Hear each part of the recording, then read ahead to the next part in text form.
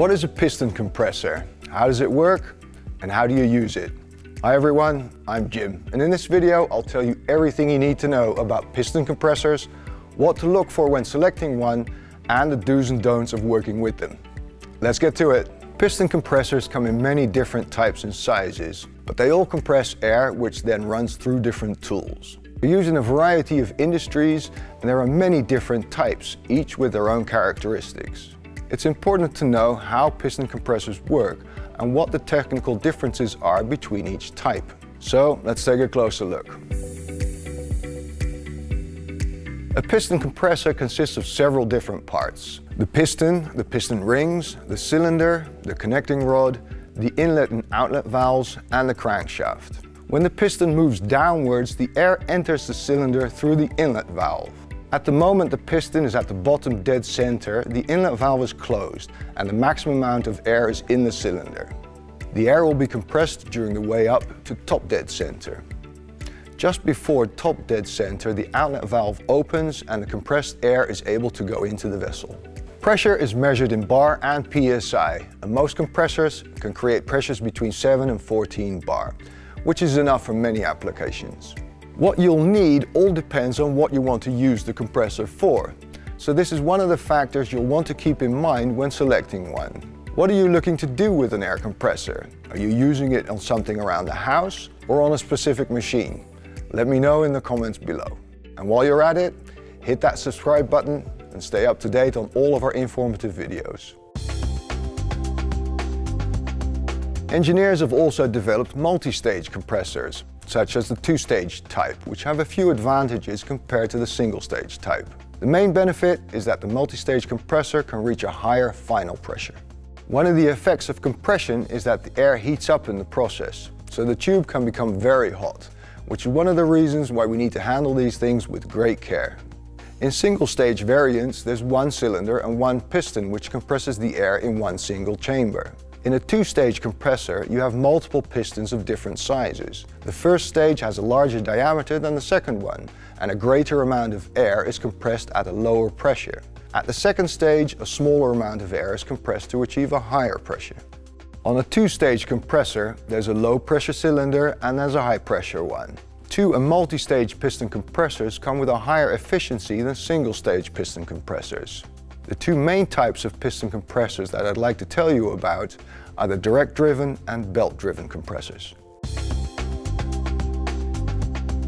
A direct-driven air compressor has a crankshaft that's directly connected to the motor, without any pulleys or belts in between. Because of this, this type of air compressor does not run as smoothly as a belt-driven compressor. They're very affordable, but also pretty noisy, so you'll need to wear hearing protection when the compressor is running. Keep in mind that excessive noise is a health hazard and a disadvantage in some settings. I wouldn't recommend using a direct-driven compressor in your garage or indoors. Belt-driven single-stage compressors are, in comparison, less noisy than direct-driven compressors. So if you plan on using yours on a daily basis and near your neighbors, you might want to consider a belt-driven compressor.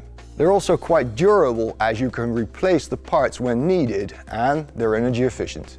So the number of stages in your compressor and whether it's direct or belt driven are important factors you should keep in mind when deciding which one is right for you. But there's another consideration I'd like to talk to you about, and that's the duty cycle. Remember, safety first. So in order to avoid overheating, it's wise to keep in mind what your options are in terms of duty cycle or whether you need a compressor that can run continuously. The duty cycle is the amount of time you can run the compressor continuously, after which it should be left to cool down for a while. If a compressor has a 100% duty cycle, you can run it continuously without any issues. If it has a variable duty cycle of, for example, 25%, you can run your compressor for 15 minutes before you should let it cool down for 45 minutes. A compressor with a 50% duty cycle, for example, will need to be off for 30 minutes after every 30 minutes of activity. There are a few things to consider before deciding which piston compressor is right for you. Pressure rating, either in bar or PSI. The net flow of air in liters per minute or LPM. And the capacity of the storage tank. It's always best to check the manual of the tool, appliance or machinery you plan to use in combination with the piston compressor, as it should give you some great pointers on all the technical specs you should keep in mind. For an overview of the different types of piston compressors and spare parts, feel free to check out this overview by Kramp. Alright, enough about how belt and direct driven compressors work, let's talk about how to use them. Make sure your compressor is on a flat surface. If your compressor uses oil, the first thing you do is check the oil level. Find the oil sight glass or dipstick near the bottom of one of your compressor's ends and use it to make sure that the oil level reaches the right level on your dipstick, right between the two markers. If your oil level is low, check the owner's manual to see what type of oil you need and pour some into the proper tank. Locate the regulator valve, which should be right next to the smaller pressure gauge on one side of the compressor. Push the hose into the quick release coupling and make sure they're well connected. Connect your tool to the other end of the hose. Make sure the compressor is turned off and then plug in the power cord. Be careful when using extension cords, especially with the more powerful compressors. Ideally, you'd want to plug in the machine directly into the wall socket. To prevent overpressure, some compressors have a safety valve you occasionally need to unplug before you get started. However, you don't need to do this every time you use your compressor, so check the manual to see how frequently you should execute this maintenance task. For now, I'll show you how it's done. The safety valve is usually a plug near the hose and it has a ring on it to make it easy to pull. Pull it and listen for a hiss of air. Then push the valve back in place before starting the compressor. Turn on the compressor and let it pressurize. The pressure switch will stop the compressor automatically when the maximum pressure is reached. Twist the pressure regulator knob and watch the smaller pressure gauge located on the hose until it shows that the pressure is at your desired level. Once the pressurized air is in the hose, you're ready to go. Alright, let's talk about servicing your compressor. First, you detach your tool and twist the pressure regulator knob to shut off the air supply. You occasionally need to let out condensation and you can do this by opening the air tank on the bottom of your compressor.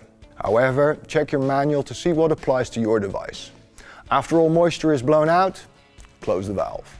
And finally, remember to store your air compressor in a dry, temperature controlled space. And that's it. We have several other videos you might be interested in, so make sure you like this video and subscribe to the channel. Thanks. Cheers.